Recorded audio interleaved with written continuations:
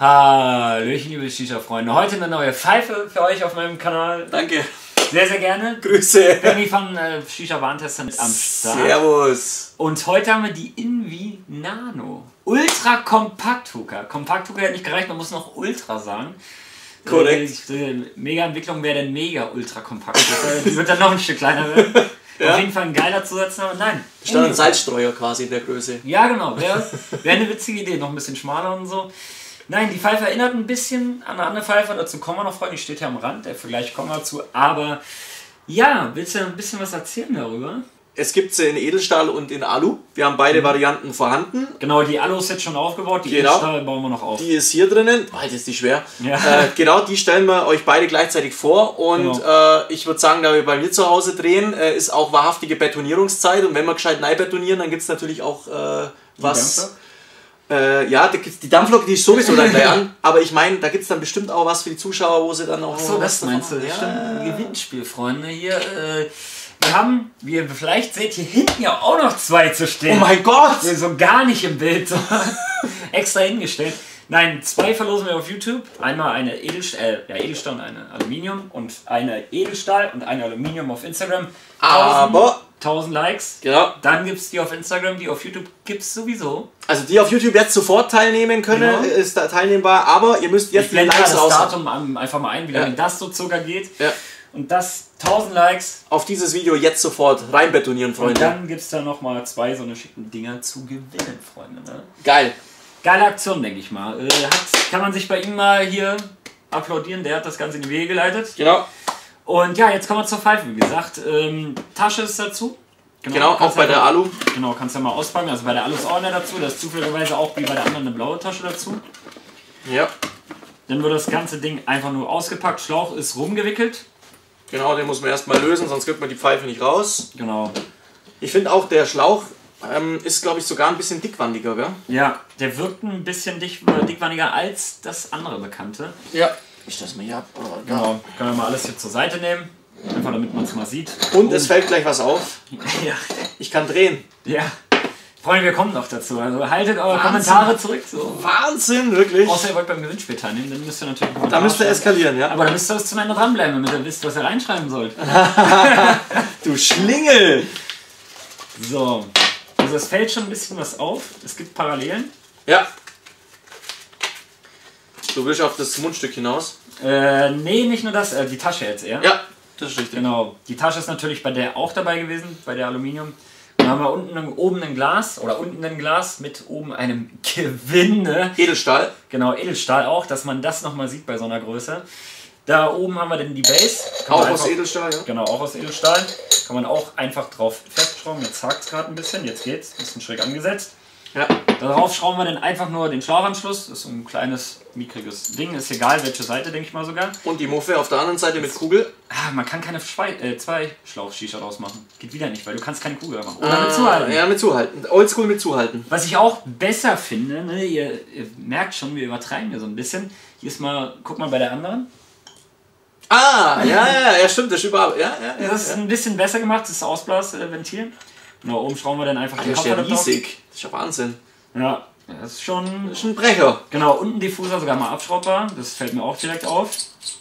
Wenn man dann unten einfach das Tauchrohr, was ins Wasser reinragt, empfiehlt sich, empfiehlt sich erst das obere aufzuschrauben und dann das untere, weil ansonsten, wenn ich jetzt hier weiter schraube, löse ich nämlich den Kopfanschluss wieder. Ja, Das stimmt. ist mir vorhin schon passiert. Ja. Und das Einzige, was jetzt Nicht Edelstahl ist. ist, das Mundstück. Genau. Korrekt. Das hatten wir uns auch vorher die Frage gestellt. Schlauchfeder ist halt auch dazu, damit es nicht Das ist abknickt. gut, ja, weil der, der Schlauch ist ja jetzt auch nicht der größte, also von der Wandstärke. Der muss halt schon so ein bisschen geknickt werden, weil halt da irgendwann mal der Kopf kommt. Ja. Sag ich mal.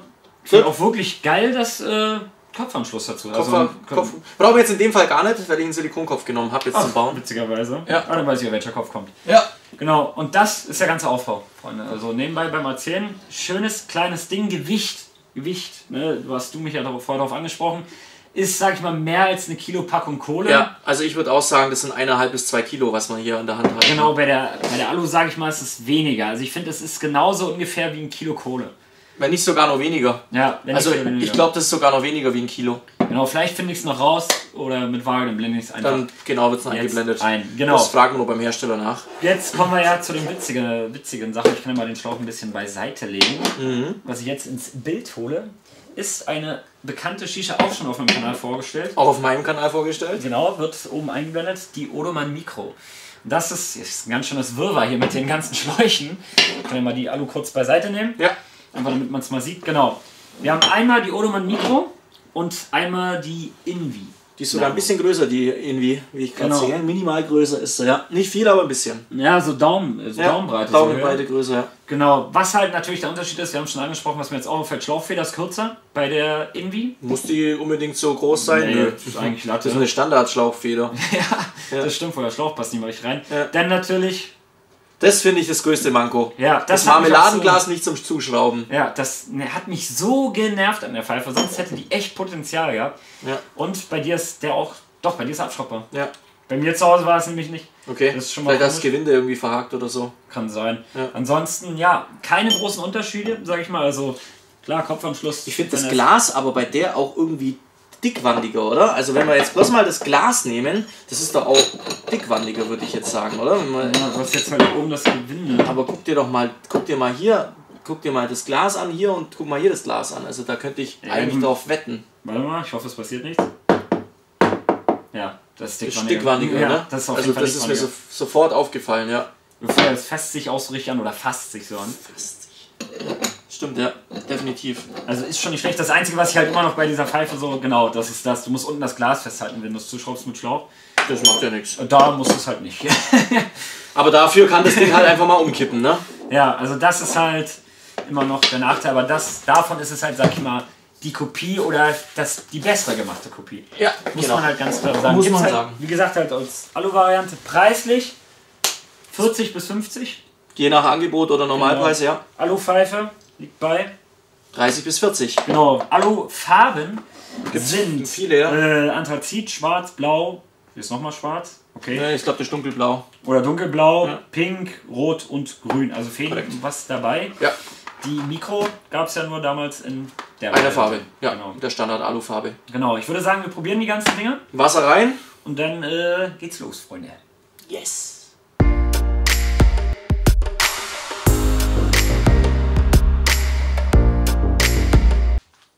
Da sind wir wieder zurück. Beide Köpfe sind an.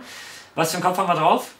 Ähm, den Kalut, äh, Vitria, Samsaris, Fake, Von Hashtag Wisch. Wisch. Genau, Genau. beide gleich. Mit Kohlen und äh, Tabak, was haben wir? Ähm, bei dir haben wir den Voltage von Social drinnen, bei mir haben wir den Pistachio Breeze, Breeze von äh, Social drinnen. Geständnis habe ich beide noch nie geraucht. Deswegen habe ich sie rein. genau. Äh, so, Pfeifen sind an. Jetzt kommen wir mal äh, durchzugstechnisch. Was sagst du? Wir haben natürlich vor ein paar Züge schon mal genommen. Zum Teil sogar besser wie bei einer normalen Shisha. Durchzug ist fast wie Atmen, wahnsinnig gut. Ja, Wir haben ja auch keine Kugel drin. Ja, das ist wirklich ultra gut. Man hat so einen dezenten Widerstand, aber wirklich, man sieht es am Rauch, also das Läuft. Ding raucht wie eine große Shisha. Ne? Ja, nicht sogar Man besser. in Frage gestellt, ob eine kleine auch so groß raucht. Ja. Ähm, ja, läuft auf jeden Fall butterweich. Was halt das Überzeugen erstmal ist, ist halt dieses Gewinnen, ne? weil es halt dieses Umkippen vom Kopf, also wenn man mal gegen den Kopf kommt, sonst äh, zieht einen die ganze Scheiße hoch. Ich sag mal, wenn ich jetzt hier rumwackel, das wäre bei der anderen schon mal ein paar Mal gelöst. Ja. Und ich hatte sogar bei, bei meiner das Problem, bei meiner Odoman Mikro manchmal lag die Dichtung, wenn die nämlich erst auf dem Glas drauf lag, glaube ich, dann war die undicht. Die muss wirklich immer unten drin sein. Ich weiß nicht, ob du das damals auch hattest. Mhm, ja, doch, doch. Und hier finde ich das auf jeden Fall besser gelöst. Äh, verarbeitungstechnisch finde ich, hat die Alu ein paar Macken drin. Oben am Gewinde nur, aber von außen jetzt nichts. So, Von also außen sieht man nichts, ne. also nichts Gravierendes. Und äh, genau eine Stelle ist so am Glas, das ist aber ein Sprung, also nicht ein Sprung. Also das ist irgendwas mit dem Glas, ist jetzt nichts. Ich denke mal, das, kann- ja, das kann auch beim, äh, bei der Produktion zustande kommen sein. Wie bei Ja. dem Glasbläser und so weiter, dass sie so Lufteinschlüsse haben oder so. Also Ja. das hat damit vielleicht. Also es ist jetzt nichts Gravierendes, es zieht nicht Umluft, also nicht Außenluft. Äh, man sieht ja, wie es raucht. Es wird auch kein Wasser aus. Also Genau, gesagt, sonst würde das- man es ja hören. Ja. Nee, es liegt definitiv äh, im Inneren der Bowl, von daher absolut überhaupt nicht beeinträchtigend. Ja, Wasserstand muss man natürlich nur ein bisschen aufpassen, weil ich habe glaube ich schon einmal zu stark gezogen. Ich habe nämlich ein, zwei Wassertropfen im Schlauch. Okay, nee, bei mir gar nichts. Vielleicht ziehst du auch einfach zu stark. Ja, Power ist am Start. Ne? Nee, was gibt's von dir zur Pfeife noch zu sagen? Fällt dir noch was ein, was du loswerden willst? Also ich finde es gut, dass sie ähm, direkt mit Schlauchfeder, ähm, Alumundstück und dem passenden Silikonschlauch kommt, weil den kann man ja so nicht einfach nachkaufen, weil das eine Sondergröße ist. Ja. Ähm, das Auspustsystem finde ich besser, weil man da direkt ähm, das ganz normale Muffensystem hat, inklusive den drei äh, Löchern quasi, wo man eben dann ähm, auspusten kann. Das sieht auch Ja. übrigens sehr, sehr cool aus. Ja, zieht am, äh, am, am Kopf so hoch. Ja, ja, das sieht ganz cool aus. Dann, ähm, dass die Gu- Kopfgummidichtung gleich mit dabei ist, die passende, weil ich sage jetzt mal hier, der Kopfadapter ist ja jetzt auch kein Standard. ne? Ja, der ist schon ein bisschen länger Deswegen finde ich es gut, dass hier diese besonders angepasste Kopfgummidichtung mit dabei ist. Die passt dann auch für jeden gängigen Kopf. Mhm. Also und ähm, alles andere hast du eigentlich schon angesprochen. Genau, ich finde es halt noch super, dass halt wirklich ein Komplettset außer Kohle, Tabak, Zange und halt Anzünder. Aber, Kopf. sag ich mal, genau, im Kopf. Äh, das muss man sich halt dazu holen. Meist hat man schon da. Ich sag mal, ich finde es immer noch perfekt für unterwegs. Perfekter sogar. Ja. Weil das jetzt zum Beispiel, ich würde sogar mir Fenster sagen, Auto geeignet. Also, das war bei der anderen noch das Problem so. Ja. Aber für, wenn man jetzt einen breiten Getränkehalt hat und wenn mit so einem Saris Vitra, Mega. ist das schon so Auto geeignet. So. Wäre eigentlich mal ein Draht, Versuch wert, ja. Oben Draht noch überbiegen, dass der Lotus nicht runterfallen kann und dann ist das Auto geeignet. So, also ist schon echt geil. Halt Tasche ist auch mit dazu. Ist auch gleich mit dabei, ja. Preis kann man halt echt nichts gegen sagen. Ich finde die Edelstahl-Variante finde ich vom Preis her irgendwie noch ein bisschen geiler als Alu, weil halt Edelstein besser verarbeitet ist. Ne, zerkratzt nicht jetzt nicht so schnell wie die Farbe, die abgeht. Mm, ja. Also bei der Edelstahl, ich habe die Gewinde mal kurz angefasst, so wo er die Köpfe gebaut hat, nicht geschnitten, gar nichts. So, also das ist natürlich immer super. Das kann Sehr gut. Mhm. halt bei Edelstahl auftreten. Ja, da ist eigentlich schon alles gesagt. Das Einzige, was mir gerade so auffällt, vom Glas hier, wenn du mal so guckst, siehst du einfach, also das Glas sieht gleich aus wie zu der, nur dass die Stelle einfach nur eingedrückt ist Ja, ja, stimmt, ja. so mittig geteilt ist. Ansonsten, Mhm. also ich muss sagen, es ist wirklich die bessere Nachmache, der bessere Fake. Also das Fake ist besser wie das Original. Genau. So wollte ich das sagen, ja. Ja, Genau. stimmt, das finde ich auch, definitiv. Also weil halt man wirklich, sag ich mal, der Hersteller irgendwie hat scheinbar die Videos gesehen und hat sich halt einfach gedacht, okay, da muss ein Gewinn dazu Ja. und vielleicht das Ausblast und hier ein bisschen sexier und dann läuft die Sache so. Und Sieht auch sehr, sehr geil aus und äh, ja, ideal für unterwegs und auch nicht schwer Ja. und auch nicht so preisintensiv und auch nicht unbedingt viel teurer wie jetzt das Original. Von daher definitive äh, Kaufempfehlung von meiner Seite aus. von meiner Seite aus muss ich auch sagen, meine Empfehlung geht dahin. Egal ob jetzt Alu oder Edelstahl, sei es einmal hingestellt, aber halt das Gewinde ist halt, es muss nicht, immer, muss nicht immer Schliff sein, Ja. aber Hauptsache irgendwas, so anstatt Hauptsache es bleibt zu. Ja, Ja. das ist halt, also weiterempfehlbar. Denk ans Gewinnspiel. Genau, Gewinnspiel, Freunde, da haben wir ja noch was, 1000 Likes erreichen und äh, ihr solltet ja bis zum Ende dranbleiben. Genau. Äh, schreibt doch einfach mal Hashtag DülletSWT in die Kommentare, weil wir halt mal zusammen Videos machen. und Das ist für YouTube dann, genau, um mitzumachen. Genau. Was sonst noch? Ähm, genau, Abonnent sein. Von uns beiden. Ja, von uns beiden Abonnent sein. Genau. Und äh, Daumen hoch. Daumen hoch, genau. Steht aber nochmal in der Videobeschreibung unten, Freunde. Genau. Genauso wie die Produkte, die sind auch verlinkt. Genau, und für alle die, die kein Instagram haben, unterstützt trotzdem, gibt den Instagram-Leuten eine Chance. Ja. Ja. Gibt trotzdem einen Daumen nach oben. Ihr könnt ja bei YouTube mitmachen. Genau, ihr könnt bei YouTube mitmachen. Also äh, lohnt sich in Zweier sein. Für alle, die beides haben, haben wir die doppelte Gewinnchance. Weil wir verlosen so. ja das identische nochmal auf genau. Instagram. Genau, bei auch 1000 eine Likes. schwarze und eine silberne. Genau. Also, mitmachen. Und was es bei Instagram dann für Teilnahmebedingungen gibt, das seht ihr dann natürlich auf der Instagram-Seite Genau. Und wann David. es dann startet, äh, wenn jetzt die Genau. 1000 in einer Stunde erreicht sind, dann startet es auch nicht direkt sofort. Ne? Ja, ja. So, Freunde, gibt mir da immer noch ein bisschen Zeit. Kommt kurz drauf dann auf jeden Fall, ja. genau. Genau. Dann haben wir alles genannt. Preislich haben wir auch genannt. Jawohl. Shoplinks stehen in der Beschreibung. Dann sehen wir uns beim nächsten Mal wieder. Ich hoffe doch. Und wenn es euch gefallen hat, lasst einen Daumen nach oben da. Checkt Links in der Beschreibung, Link zu seinem Kanal. Alles entweder hier oder Infocard oder Beschreibung. Ne? Dreierlei Möglichkeiten. Könnt ihr euch Genau. Einfach mal abchecken, ihr findet mich auf jeden Fall. Genau. Bis dahin, macht's gut. Wir wünschen guten Rauch. Servus.